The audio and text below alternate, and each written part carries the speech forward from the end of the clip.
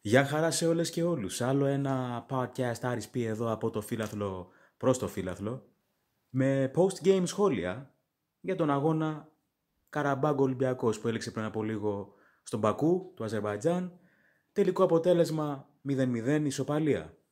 Αν και εφόσον σας αρέσει η φάση αυτή που γίνεται εδώ στο κανάλι, είτε με τα σχόλια αυτά τα αθλητικά, που είναι πάντα όσο αντικειμενικά και αμερόληπτα γίνεται, άλλη μια άποψη από έναν απλό φύλαθλο σαν και εσένα, είτε τρομακτικές ιστορίες που έχουν μυστήριο και ενδιαφέρον, τις αφηγούμε, είτε μουσική αυθόρμητη χωρίς προετοιμασία, χήμα, freestyles, προσοχή όμως, διότι είναι ακατάλληλα αυστηρός για γυναικόπαιδα και παράξενους. Όπως και φυσικά αστρονομία, η οποία είναι μια εκπληκτική θα έλεγα επιστήμη. Μπορείτε φυσικά να κάνετε like, εγγραφή, σχόλιο, κοινοποίηση, αλλά και το καμπανάκι μην ξεχάσετε να πατήσετε εφόσον με το καλό κάνετε την εγγραφή, έτσι ώστε να λαμβάνετε ειδοποιήσεις για όσα θα ανεβαίνουν στη συνέχεια. Και ευχαριστώ πάρα πολύ εκ των προτέρων, το εκτιμώ. Με βάση τα όσα μας έχει δείξει έως τώρα η ομάδα μας, ο Ολυμπιακός, σίγουρα απόψε έκανε μια αξιοπρεπέστατη θα έλεγα εμφάνιση. Είδαμε αλληλοκαλύψεις. Φυσικά δεν είμαστε ευχαριστημένοι επειδή εμείς ως Ολυμπιακός που είμαστε θέλουμε πάντα την νίκη και μόνο. Αλλά ξαναλέω, υπό τη αυτά συνθήκας οπωσδήποτε φάνηκε τουλάχιστον το ότι κάτι έχει δουλευτεί. Ανασταλτικά. Και μπροστά μάλιστα μπορώ να πω ότι ήσουν και λίγο πιο επικίνδυνος από ότι ήταν η ομάδα του Αζερβαϊτζάν. Παρόλο που εκείνοι είχαν την κατοχή μπάλας περισσότερο, στο τέλος θυμάμαι κατά 59% εμείς 41%, αλλά εκείνοι σουτάρανε στον Περιστερώνα συνέχεια, ενώ από την άλλη εμείς είχαμε και δοκάρι, είχαμε και, και καλή κεφαλιά του Ντόι, ο οποίος Ντόι πήρε το αίμα του πίσω, με μια αρκετά καλή απόδοση, άντε να έκανε δύο-τρία λαθάκια, εντάξει, είπαμε, δεν είναι και η φυσική του θέση, αλλά τα πήγε περίφημα, ήταν σκυλή του πολέμου και αυτό μ' άρεσε, έδειξε τσαγανό, όπως τσαγανό έδειξε και ο Αμπουμπακάρ Καμαρά, έτσι δεν το συζητάμε. Ο ξύθιμος χρειάζεται και αυτό, ειδικά σε τέτοιους αγώνες εκτός έδρας και τον εκνευρίσανε κιόλας και ορθώς δηλαδή θύμωνε, γιατί του κάνανε τόσα fouls και δεν το σφυράγανε. Πώς το λένε, ο, ο Άγγλος, ο διαιτητής. Είχαμε φυσικά και έναν Σοκράτη Παπασταθόπουλο από τα παλιά, κορυφαίος για μένα. Στην άμυνα ήτανε Hoover, να μην κάνω και διαφήμιση τέλος πάντων. Σκούπα.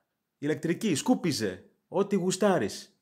Το ότι η ομάδα κράτησε το 0 στην άμυνα ήταν αποτέλεσμα της αμυντικής λειτουργίας. Όχι μόνο των κεντρικών αμυντικών, οι οποίοι ήταν κατά κύριο λόγο ο Σοκράτης, ο Παπασταθόπουλος με τον ε, Αντρέα Τοντόι, τον 19χρονο Έλληνο-Αλβανό ποδοσφαιριστή, το τονίζω αυτό, γιατί δεν το λένε. Ε, ναι, να είμαστε ακριβείς. Και όπως έχω πει εδώ και καιρό για τον Μπιέλ να μην παίζει έξω δεξιά, έξω αριστερά, δεν κάνει για τα φτερά, είναι για τον άξονα. Έτσι τώρα, από ό,τι φαίνεται, ο Αμπουμπακάρ Καμαρά δεν είναι για τη μύτη. Δεν είναι για μπροστά επιθετικός. Είναι για να σου παίζει έξω αριστερά. Ή έστω και έξω δεξιά, αλλά πιο πολύ έξω αριστερά τον είδα καλό. Με ανάποδο πόδι, δεν πειράζει. Εκεί έκανε παραγωγή, έκανε πράγμα, γενικά στα φτερά. Εντάξει, δεν έχει κανένα τελείωμα σπουδαίο, είναι μαχητής, είναι δυνατός και εκεί σου βοηθάει. Σου προσφέρει. Και εννοείται πως δεν υπάρχει σύγκριση ανάμεσα σε Αμπουμπακάρ Καμαρά και Βιτζο. Τα έχω ξαναπεί και προφανώς πέφτω μέσα. Δεν κάνει ο Βιτζο. Ο Βιτζο είναι να τον πάρεις μαζί με τους άλλους δύο δανεικούς, τον Τελαφουέντε και τον Μπόλερ, και να τους στείλεις από τώρα στις ομάδες τους. Από το Γενάρη, να. Το στομότερο δυνατό, δεν είναι αυτό; Έτσι, μπράβο. ASAP που λέμε. Αυτό σημαίνει as soon as possible. Τέλος πάντων, το Σαμασέκου δεν τον έχουμε δει, οπότε δεν τον αναφέρω. Αναμένουμε. Κατάφερες και να προφυλάξεις ορισμένους ποδοσφαιριστές εν ώψη του αγώνα του πολύ σημαντικού απέναντι στον Πάοκ. Και τώρα που λέω για Πάοκ, ο πρώην παίχτη του Πάοκ, ο Πασχαλάκης, ήταν εξαιρετικός. Μ' αρέσει που επιτέλους έχουμε τερματοφύλακα, ο οποίος μιλάει με τους συμπαίκτες του. Καθοδηγεί την άμυνα, τους εμψυχώνει. Αυτό το πράγμα είναι πολύ σημαντικό. Αυτό δεν το έκανε ούτε ο Βατσλίκ, ο οποίος ήταν λίγο ψυχρός, έτσι να μην πω και την άλλη την έκφραση, με τον κρύο και τον ποπό, και από την άλλη ο Τζολάκης άπειρος. Οπότε ο Πασχαλάκης είναι ό,τι πρέπει για αυτό το ρόλο, θεωρώ, σου πρόσφερε ασφάλεια, Πράγμα που δεν είχε στους προηγούμενους αγώνες. Έπαιξε και αυτός ρόλο στο ότι η ομάδα διατήρησε το μηδέν παθητικό και σε όλο τον αγώνα πάνω στο τέρμα δεν πήγε κανένα, καμία προσπάθεια, καμία μπάλα της Καραμπάγκ. Μηδέn. Ενώ ο Ολυμπιακός δύο φορές. Που συνολικά έκαναν 9 προσπάθειες για γκολ για Αζέρι και εμείς 6. Και φυσικά ο Ολυμπιακός κανένα corner, έτσι, κερδισμένο, ενώ εκείνοι 6. Δεν έχει σημασία. Όπως είχε πει και ο συγχωρεμένος ο Αλέφαντος, δεν παίζει ρόλο το ποιος θα έχει κατοχή μπάλας. Και γενικά τα στατιστικά είναι για το basketball. Δεν είναι τόσο για το ποδόσφαιρο. Άρα να μην σταθούμε σε αυτά. Όσο για το Πασχαλάκι, και τι έγινε που παίζει με τον Μπάουκ τη Δευτέρα. Εντός έδρας είναι εξάλλου. Δεν είναι στην Τούμπα, να ακούει να του βρίζουν τη μάνα και τέτοια. Οπότε, γιατί να μην παίξει για μένα; Που λέγανε ορισμένοι ότι μην παίξει και αυτά, μην κάνει κανένα λάθος. Όχι, έχει τσαγανό. Έχει τσαγανό. Όπως είχε τσαγανό, ξαναλέω, και ο Ντόι, όπως είχε τσαγανό και ο Σοκράτης, όπως είχε και ο Αμπουμπακάρ Καμαρά, ο Βαλμπουενά μόλις μπήκε, το, σε κάνει να τον ε, θαυμάζεις, σε τρελαίνει. Εγώ προσωπικά έπαθα πλάκα για άλλη μια φορά. Δεν σταματά, δεν πάβει να με εκπλήσει. Ε, ευχάριστα εννοείται. Πραγματικά με συγκινεί, είναι απίστευτος. Με μαγνήτη στην μπάλα, πιέζει, μαρκάρει, κοντρολάρει όταν έχει την μπάλα. Τι να λέμε τώρα; Μιλάμε για κλάση. Μιλάμε για έρωτα με την μπάλα. Τη, τη χαϊδεύει, της μιλάει. Ελπίζω πραγματικά να μην έχει κάτω εμβυλά, διότι τον μαρκάρανε πολύ άσχημα, εγκληματικά θα έλεγα, αντιεπαγγελματικά. Η αντίπαλή του ένας Βραζιλιάνος και δυστυχώς ε, από τότε κούτσενε. Θα δούμε, ελπίζω να είναι καλά γιατί τον χρειαζόμαστε εν ώψη ΠΑΟΚ. Το ότι το γύρισε σε 4-4-2 για μένα ήταν θετικό. Γενικά, ο Μίτσελ. Ε, βέβαια. Τι θα κάνεις; Θα γυρίσεις όλους πίσω, ξέρω εγώ τι. Παθητικά συνέχεια; Κι όμως στάθηκες, έστω, πήρες αυτό που ήθελες. Και μ' αρέσαν και αλλαγές, διότι με τις αλλαγές έδειξες ότι κάτι πάει να κάνεις, να κυνηγήσεις το 0-1. Δεν πειράζει που δεν μπήκε, τέλος πάντων. Τι να κάνουμε, εντάξει, βασικά πειράζει, αλλά από την άλλη λες: OK, σέβεσαι την προσπάθεια αυτή, λες ότι καλώς μπήκε μέσα Φερρυπίνο Γκάι Ροδρίγε και ο Βαλμποενά ακόμη, ο Ενμπαμ Χουάν. Αλλά όπως προείπα, τους προ... είχε προφυλάξει για τον αγώνα με τον Μπάοκ. Αυτό είναι ό,τι πιο σημαντικό. Προσωπικά αυτό σκέφτομαι μόνο, ελπίζω και οι παίχτες να το σκέφτονται, γιατί πρέπει να κερδίσουμε και μάλιστα με καθαρό σκορ και εύκολα. Έτσι για να έχουμε και λίγες αλλαγές στον Μπάοκ. Κάποιες απολύσεις, κάτι τέτοια. Αυτά θέλω εγώ. Αλλά τώρα που λέω για ΠΑΟΚ, να στείλω θερμά συλληπιτήρια στην οικογένεια του Σαράφη, του παλέμαχου ποδοσφαιριστή. Έχω ακούσει πολλά για αυτόν από παλιούς, έτσι, πιο παλιούς από μένα. Α, να είναι ελαφρύ το χρώμα που τον σκεπάζει. Και τώρα ας πάρω τα πράγματα με χρονολογική σειρά, έτσι όπως τα θυμάμαι εγώ. Το πώς ε, εκτελήχθηκε το πράγμα στο παιχνίδι. Α, να πω και συγκεκριμένα πώς κατέβηκε ο Ολυμπιακός από ό,τι θυμάμαι. Πασχαλάκη θεματοφύλακα, Βρυσάλικο, Ρέαπτσιουκ, Παπασταθόπουλος, Ντόι, Μπουχαλάκη Κούντε, βρουσάει έξω δεξιά, έξω αριστερά Πεπ Μπιέλ και μπροστά προωθημένοι από Μπακάρ Καμαρά και Βίτζο Χουάν. Είδαμε πάντως και κάνα δυο τουρκικές σημαίες στις εξέδρες. Τέλος πάντων, εγώ δεν θέλω να ασχοληθώ με αυτά, τα έχω ξαναπεί. Εντάξει, αυτή είναι μείγμα έτσι ρωσό-τουρκί. Πώς θα τους χαρακτηρίσω, δεν ξέρω, δεν με νοιάζει. Αυτά είναι πολιτικά, τα βάζουν μέσα. Προσωπικά Εντάξει, φυσικά και δεν τα πάω καλά ούτε με αυτούς που ανέφερα, ούτε με τους Ρώσους, ούτε με τους Τούρκους. Για πολλούς λόγους. Και με τις δύο χώρες που συνδέομαι. Δεν έχει σημασία όμως. Πάμε παρακάτω. Έχουν ένα μικρότερο γήπεδο αυτοί. Δεν είναι φυσική τους έδρα αυτή που παίξαμε εκεί, είναι και παλιό αυτό. Φαίνεται, η κατασκευή τώρα είναι από τα μέσα του προηγούμενου αιώνα, να πούμε. Ούτε εγώ δεν είχα γεννηθεί. Στην αρχή η ομάδα έκανε κάποιες λάθος μεταβιβάσεις, θυμάμαι. Στα πρώτα δευτερόλεπτα του αγώνα, μάνι μάνι, νομίζω ήταν ο Ντόι και ο Μπουχαλάκης. Τέλος πάντων, στο τρίτο λεπτό ο Σοκράτης έσωσε σέντρα του Ζουμπίρ, του αντιπάλου. Έδινε μάχες σώμα με σώμα ο Ντόι. Ο Μίτσελ ζητούσε γρήγορες μεταβιβάσεις, μπας και αιφνιδιάσουν τον αντίπαλο. Οι παίχτες της Καραμπάγκ συνδυάζονταν πολύ καλά. Είχαν τρομερούς ε, αυτοματισμούς, να το πούμε και αυτό. Έχουν ομοιογένεια και κάνει καλή δουλειά αυτός ο προπονητής ο Κουρμπάνοφ. Έτσι.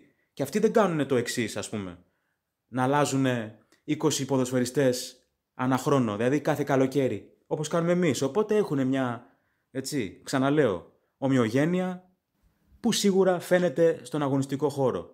Αλίμονο. Στο 13ο λεπτό είχαν την πρώτη τους καλή ευκαιρία, η Αζέριτς Καραμπάγκ. Εμείς μετά πήγαμε να βγάλουμε αντεπίθεση στο καπάκι, αλλά με το που πήρε την μπάλα ο Βρουσάη, αμέσως κοίταξε να τη δώσει προς τα πίσω. Τι πράγμα είναι αυτό, τι κακή συνήθεια. Από Μαρτίνς, Κορμπεράν, τα ίδια. Τέλος πάντων. Στο 17 πάλι έκαναν ωραία κομπίνα οι αντίπαλοι και σέντρα στο ύψος του πέναλτι μπάλα. Ο Χουσέινοφ, από ό,τι θυμάμαι στο όνομα, την είχε στείλει στον Περιστερώνα. Ο Βρουσάη, εντάξει, ανασταλτικά κάπως καλά τα πήγαινε στο πρώτο ημίχρονο. Στο δεύτερο άρχισε να μας τα χαλάει, προφανώς κουράστηκε. Αλλά χτυπούσαν από την πλευρά του, αυτού και του Βρυσάλικο, έτσι. Έξω αριστερά δική τους πλευρά, δηλαδή εμάς πίσω δεξιά. Στο 18 έσωσε τον Ολυμπιακό τελευταία στιγμή ο Βρουσάη όμως. Οι μακρινές μπαλιές που είχε σχεδιάσει ο Μίτσελ δεν βγαίνανε, οι γιόμε.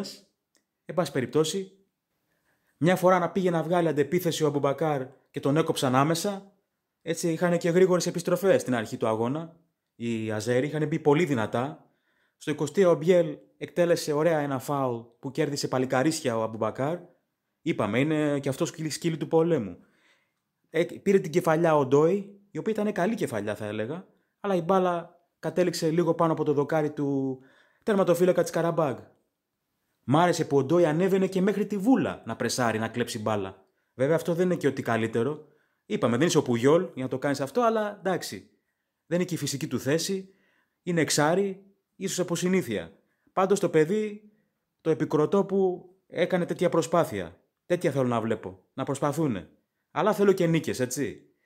Ευτυχώς που η Νάντι τήθηκε εντός έδρας από τη Φάιμπεργκ, έτσι. Έφαγε πολλά αυτή, άστα. Είπαμε, κρίμα να χάσαμε που χάσαμε από αυτά από αυτήν. Το έχω ξαναπεί. Είναι της πλάκας. Παραπέει. Έλα μόρε τώρα.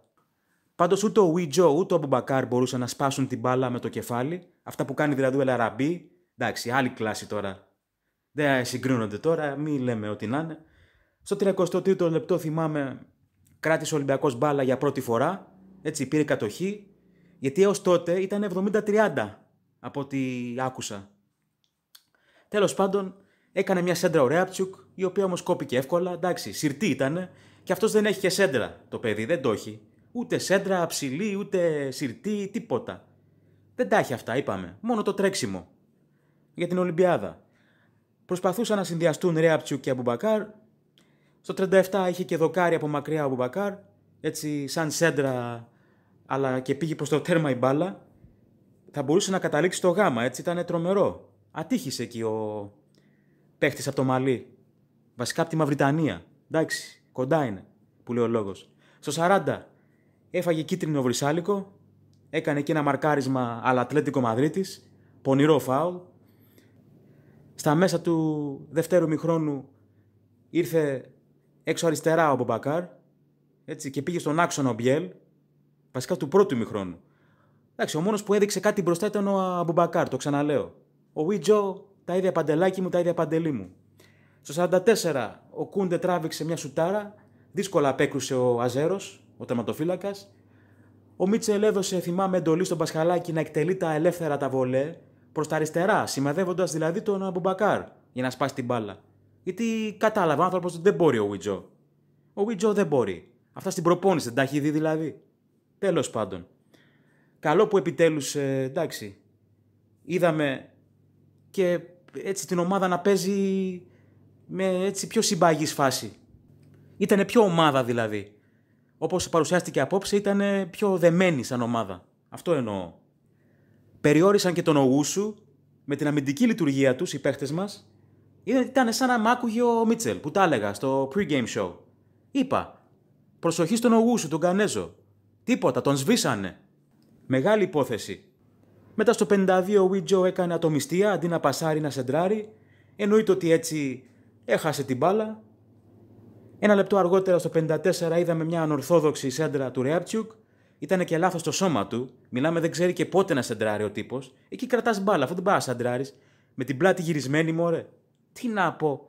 Στο ίδιο λεπτό έφαγε την μπάλα στο πρόσωπο ο Μπουχαλάκης. Μετά ήταν λες και έφαγε γροθιά, πραγματικά. Καλά, το έχω ζήσει κι εγώ. Είναι άλλο πράγμα αυτή η μπάλα. Την έχω φάει και στο κεφάλι και στο πρόσωπο και σε σημείο ευαίσθητο. Άστα. Άστα. Μετά, ας μην το συζητάμε. Έπιασε μετά και την κουβέντα ο Σοκράτης με τον ε, Craig Pawson, τον ε, Άγγλο τον ε, διαιτητή. Τόσα χρόνια στην Arsenal τον ξέρει. Παρ' όλα αυτά του έβγαλε και κάρτα μετά. Στο 56 έξυπνη παλιά του βρουσάει προς το Wee Joe, αλλά δεν πρόλαβε ο Νότιο Κορεάτης. Μπλόκαρε ο τεματοφύλακας. Στο 58 ο Πασχαλάκης γράπωσε εντυπωσιακά την μπάλα στη μικρή περιοχή του σε μια σέντρα, μετά από μια σέντρα μάλλον των Αζέρων. Στο 59 μακρινό πλασέ και rebound του Μπιέλ, το οποίο όμως μπλόκαρε εύκολα ο Μαχαμανταλίεφ, έτσι λέγεται ο Αζέρος ο τερματοφύλακας, θυμάμαι. Άκου όνομα και αυτό. Βαλμπουενά και Μαρσέλο στο 60 μέσα αντί για Μπιέλ και Wee Joe. Στο 61 ο Κούντε έκανε κλασική μπουκα δική του, από αυτές που κάνει, τις επελάσεις, χωρίς κανείς να μπορεί να το σταματήσει, αλλά τα χάλασε στην τελική προσπάθεια, μωρέ. Πήγε έξω η μπάλα, οι οπαδοί δείχναν τις πλάτες τους, έτσι στο γήπεδο εκεί σε εξέδρες. Τι θέλανε, να τους δαγκώσουμε στην πλάτη; Μας άρεσουν και αυτές οι στάσεις, άμα θέλουν. Τι να πω. Μια πάσα έχει ο Μπουχαλάκης και αυτή την έχει χάσει από ό,τι φαίνεται τελευταία. Γιατί όλο λάθος ε, πάσες έδινε και πάλι. Της πλάκας. Ο Ντόι με αυτοθυσία έκοψε, θυμάμαι, έναν αντίπαλο, λίγο πριν σουτάρει. Ήταν τρομερή η προσπάθεια αυτή. Μπλονζόν που λέγανε παλιά. Με βροχή και αέρα το παιχνίδι, από το 60 κάτι και μετά. Με ένα βαλμπουενά τρομερό. Είπαμε. Είπαμε. Στο 69 εμβυλά αντί για κούντε, στον αγωνιστικό χώρο. Στο 71 δεν δόθηκε φάουλ πάνω στον Αμπουμπακάρα Δίκος. Στο ίδιο λεπτό ο Όζομπιτς, αντίπαλος, είχε ευκαιρία ήταν η καλύτερη βασικά της ομάδας αυτής, της Καραμπάγκ, αλλά πέρασε έξω η μπάλα. Δεν απειλήθηκε ο Πασχαλάκης, ο οποίος είχε, είχε καλύψει τη γωνία του. Έτσι. Στο 78 ξανά μανά τραβήξανε τον Αμπουμπακάρ τίποτα ο διαιτητής. Άρχισε να με εκνευρίζει εμένα εκεί. Διαμαρτυρήθηκε μέχρι και ο Μίτσελ, ο οποίος δεν είναι κανένας οξύθυμος. Φυσικά ο Αμπουμπακάρ είναι οξύθυμος, οπότε ακόμη και μετά τη λήξη του αγώνα έκανε τσαμπουκάδες με τους αντιπάλους και ζήταγε το λόγο. Μετά, στο 79, έκανε τραγικό λάθος που λίγο έλειψε να κοστίσει, αλλά ευτυχώς καθάρισε η άμυνα. Ωραία ψουκ, δηλαδή εκεί πούλησε μπάλα, τι να πω. Είναι για να μπεις μες στην οθόνη όπως βλέπεις τον αγώνα. Στο 80 χάρη στην κλάση του ο Μαρσέλο, παρόλο που θα τον χαρακτήριζα και φταίει τώρα όπως είναι, είναι τεχνηταράς, εντάξει. Πέρασε αντίπαλο και έκανε και σέντρα. Εντάξει, δεν βρήκε κάποιον συμπέκτη. Εντάξει, υπομονή με τον Μαρσέλο, παιχταράς, αλλά είπαμε, η κυλίτσα κυλίτσα. Και φάνηκε. Με την μπλε εμφάνιση σήμερα φάνηκε λίγο. Πώς είναι τα λάστιχα των αυτοκινήτων, κάπως έτσι. Δεν είναι στρουμπουλή στρογγυλή, η κλασική ελληνική κοιλιά στο μάχη. Τέλος πάντων. Μετά στο 83 ένας Βραζιλιάνος, ξεχνάω το όνομά του τέλος πάντων τώρα, χτύπησε τον εμβυλά, εκεί να δεις πόσο ήθελα να μπω στην οθόνη μέσα. Πραγματικά. Και η πλάκα είναι ότι δεν έφαγε ούτε κάρτα ίσα ίσα που έφαγε κάρτα ο Σοκράτης για διαμαρτυρία. Ντροπή του διαιτητή του Άγγλου, του ξεφτύλα. Ε, βέβαια. Με τα χίλια ζόρια συνέχισε ο άνθρωπος το παιχνίδι, ο Εμβιλά. Τον εξέτασε ο ορθοπαιδικός μας, ο Χρήστος, ο Θεός. Τέλος πάντων, ελπίζω ξανά λέω να είναι καλά γιατί τον χρειαζόμαστε για τον Μπάουκ. Στο 85 μπουχαλάκι έξω μέσα Ένμπαμ, που θα μπορούσε να βγει και νωρίτερο ο μπουχαλάκι, να τα πούμε και αυτά. Είπαμε, δεν κάνει μόρε τώρα. Βρουσάει έξω και μέσα Γκάρι Ροντρίγκες. Εκεί ήθελε έστω και στα τελευταία λεπτά να χτυπήσει ο Μίτσελ. Εντάξει, δεν καταφέραμε να σκοράρουμε όμω. Μ' άρεσε που πίεζε και ψηλά ο Βαλμπουενά στις καθυστερήσεις μαζί με τον Αμπουμπακάρ, βοηθούσε. Μετά στο 95 είχαν οι Αζέρι ευκαιρία, άλλαξε η μπάλα πορεία και πήγε έξω. Και εξάλλου είχε καλύψει τη γωνία του ο Πασχαλάκης. Αυτά τέλος πάντων είδα εγώ στον αγώνα. Πριν κλείσω να ευχαριστήσω όλες και όλους για την ακρόαση, για τη στήριξη, για τα σχόλια, για τα likes, για τις εγγραφές πραγματικά. Και για άλλη μια φορά έχουμε πολλά να πούμε όσον αφορά τον αγώνα που παρακολουθήσαμε εναντίον της Καραμπάγκ στο Αζερβαϊτζάν, στον Πακού. Άρα περιμένω φυσικά τα σχόλιά σας, αλλά όσον αφορά τα σχόλια που ήδη έχετε κάνει, να σας αναφέρω ονομαστικά και να σας ευχαριστήσω για αυτά. Πιο συγκεκριμένα, Έλενα Μιχαηλίδου, η οποία μου έκανε πρόταση για συνεργασία σε πλατφόρμα για τα podcasts, αλλά δεν ενδιαφέρομαι. Παρ' όλα αυτά, είπαμε, Δεν κρατάμε κάποια κακία, δεν πειράζει, πάμε παρακάτω. Πέγγι Ντάνου, Ευγένεια Αποστολοπούλου, Χαϊάμ Βαλίεφ, Ραμίλ, Πιτς Σπανός from Tarpon Springs, Florida, USA, Μαρία Γιανοπούλου, Χρήστος Καλογερόπουλος, Coach Zach from Wisconsin, USA, Dennis Mill from China, but of course he's originally from Canada, John Bafilias, George Tsekouras, Anonymous Greece, Νίκος Getbet, Δημήτρης Παπαϊωάννου, Λεωνίδας Λούγκος, Νίκος Αραγιάς, Κώστας Δέσποινα Γιωβάνι Καπούτο και γενικά σε όσες και όσους έχω παραλείψει, γιατί γίνεται και ένας ε, χαμός. Ραντεβού λοιπόν το απόγευμα της Παρασκευής με εκπομπή και επίσης θα βγει και δεύτερη εκπομπή, θα ανέβει μάλλον, μετά τον αγώνα ακριβώς Ολυμπιακός Ζαλγκύρης. Δηλαδή πάνω κάτω κατά τις 11 η ώρα Ελλάδος. Θα μιλήσουμε για basketball, εκεί όπου θα μας λείψει ο Κώστας ο Παπα-Νικολάου, το μοναδικό καθαρό αιμοτριάρι μας, small forward, και αυτό είναι σίγουρα κάτι ανησυχητικό. Όπως και το ότι θα παίξουμε σε άδειες κερκίδες, έτσι, και κλεισμένο των θυρών. Σίγουρα είμαστε καλύτεροι από τις Αλγύρες, αλλά θέλει προσοχή γιατί κάθε χρόνο κάνει εκπλήξεις αυτή η ομάδα. Οπότε, έτσι, κρούω τον κόδωνα από εδώ πέρα. Αυτά είχα να πω. Σας ευχαριστώ όλες και όλους ξανά άλλη μια φορά για τη στήριξη. Να είστε καλά. Χαιρετώ. Ζήτω ο Ολυμπιακός.